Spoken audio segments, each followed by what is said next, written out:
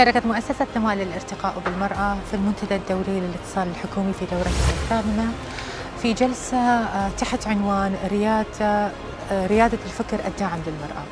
في هذه الجلسة طبعا تطرقنا إلى مواضيع كيفية آه، دعم الحكومة إلى المرأة وما أبعاد هذا الدعم وما وما وما ما هو ما هي نتائج هذا الدعم.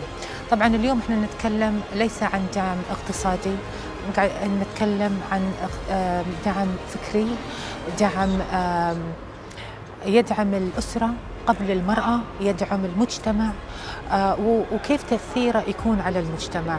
فأتمنى للكل مشاهدة ممتعة.